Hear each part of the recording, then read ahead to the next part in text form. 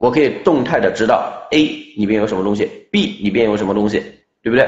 那人们就想啊，那那就这样很简单啊，我这声明就得了啊，我声明我我也不跟你跟工厂吻合了，哎，你就声明你用就行了哈。那比如说这有个方法，void，比如说这个是一个 test，我要调 B 对象，B 点叉叉叉，我要调这个对象，那人们就想，你这不报错吗？报空值任意上吗？报 NPE 嘛，是吧？那这没出话呀？那以前我们六，那谁来搞啊？那很简单啊，人们有反射，那有反射怎么办呢？哎，反射怎么溜对象？比如说 A 点 class，然后拿到它的 class 对象，对吧？然后提供一个无参构造 new instance，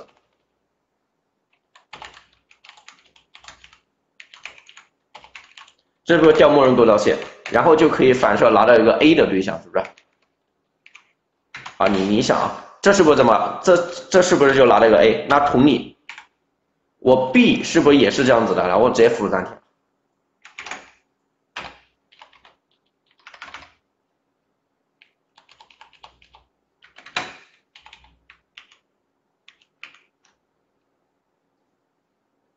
好，呃，有，好，呃，这个这里他把这个这个编辑器不太好用啊。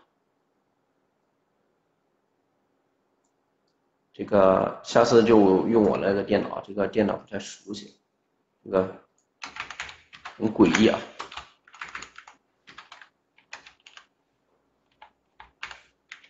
啊啊，针对着看啊，好，同样 A 是不是有了？B 对象也就有了。那问题来了啊，来 A 对象我可以创建，对不对？B 对象我也可以创建。那问题是我怎么把这个 B 对象放到这里边去？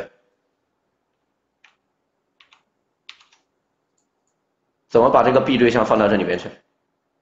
同样也是反射，怎么办呢？你看啊，我不会有个对象 A 出来了吗？我不会还有这个 A 的原信息吗？好，那我就 A 点 class，好，这个是返回的是一个对象啊，这是一个 class 对象，然后这是一个呃这个 class，啊，返回一个 A 点 class 对象。好，那我有这个 class 啊，这里可以连写啊，我连写了，写你 class 点 new instance 也是一样的啊。OK，那我有了 class 之后，我可以干嘛？我可以动态的获取到什么呢？点，我可以干嘛？get field，是不可以拿到属性？那问题来了，我怎么拿到所有属性啊？我能一个一个拿吗？我在提前知道又有一个蛋鸡生蛋，蛋生鸡的问题，就是什么情况？就是我有一个这个。东西，然后我这个东西的名称我事先不知道，因为它需要传一个名称，这里我不知道这个名称，然后我要用反射怎么办？我想拿到每一个怎么办？那很简单，也给你提供了，有两个方法，一个是 get fields 是不是？然后还有一个是可以点 get declare fields，那这两有什么区别？有什么区别？很简单，一个是拿公有的，一个是拿什么？所有的怎么说？你们看啊，我改一下快捷键啊。那这个一直因为我也是从 Eclipse 过渡过来的，所以我用的还是 Eclipse 的这个快捷键。OK，我们来找一个类啊，加个浪包。OK，这个类。我我说了不算啊，我我还那句话就是我说了不算，然后人家说了才算，对不对？这个 J D K 自己写的才算啊。然后我先说一下啊，就先讲到这里，我先说一下我的课程安排啊。呃，我这个人讲代码呢，不喜欢就是给别人就是直接就是说我给你一筐鱼，然后啊你吸收没吸收，你拿去卖也好。你拿去啊吃也好，但是你吃不了那么多，你拿去扔了也好，但是到最后你还是记不住那么多。我讲的一个，我讲课的一个风格是什么？我讲课的风格是对于整个东西的一个逻辑推理，什么东西拿过来，我们先考虑一下怎么去做，它是什么，它怎么做的？如果是你，你怎么做？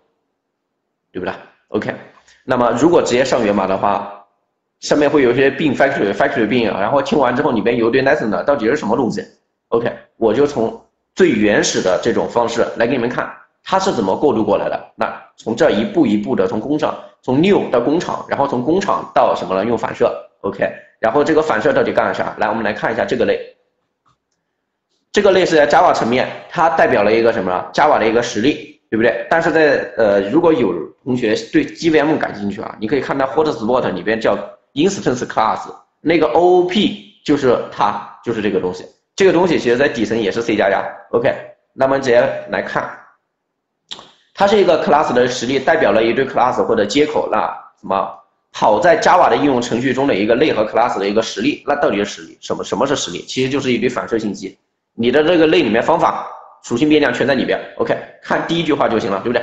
好，每一句话看第一句话啊，节约点时间。那 class 没有一个什么，has no public 这个构造器，OK，那就是说我这不能溜，我这个 class 不能溜出来啊，只能是通过别的对象，或者是通过什么这个类拿到这个实例，OK，嗯，the methods of class 这些内部的这些 class 的方法都暴露了一堆什么呢？一堆接口或者是什么呢？一堆类的一些什么呢？一些啊成员在里边，OK，那么。呃，这个是其实就暴露我这个接口，我这个类的原信息，也就里边说方法，它哪个包包是啥，访问修饰符是啥，啥啥都可以用，好吧？然后呢，再往下啊，这些就不用看啊，这些就直接拿着这个类 class 有几种方式，这个大家自己看啊，这是拿着类的名称，OK。那么我们直接跳到那个，直接跳到那个 get fields，先看一下这干啥？返回一个数组，包括了所有的 field 对象，那么反射了所有的可访问的什么 public 的属性，哎，类和接口声明的，哎，看清楚了啊，它只返回什么呢？public，OK。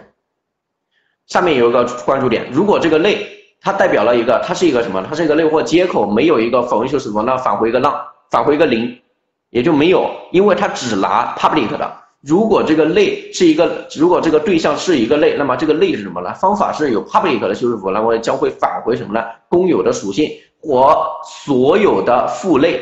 看着啊，of all its super classes 从父类里面拿过来的什么呢？信息都在里边。OK，the class 对象代表了一个接口，method 要返回一个什么呢？这个接口里边的所有公属性，因为接口本身就有公有的，这毋庸置疑，对吧？OK。那么下面就不用说啊，下面这代表了一个数组类型，数组类型是原始数据类型，它什么都没有属性，所以它返回一个什么零。那上面这很简单，但是有个句话，我先给你们讲清楚，有一句话啊，呃，这句话呢，在很多人写代码的时候，经常经常犯，特别是写框架的时候，我给你们讲句有趣的事情啊，呃，在阿里里面有某个人啊，写代码的时候就依赖了 get fields 的这个顺序问题，然后就导致了一个很诡异。线上环境和本地环境运行出来是不一样的结果。那我们首先看一下，就这句话说的，the elements in return array 不能够被什么呢排序，并且是一个什么没有顺序的保证啊。所以说它依赖的这个顺序，它怎么？它 get fields 拿过来，我一定第零个就是我想要的，然后他就拿第零个，然后一拿直接报错。看清楚啊，就说了这个方法，他说了，他保不能保证我这个属性一定是有一个顺序的，也就是说，在不同记忆上面拿过来可能是不同的结果，但是返回的数组的长度和内容肯定是一模一样的，但是它的顺序是可能是不同的。OK，那么大家再看清楚这个东西啊，那这个是 get fields，OK，那么来 get declare。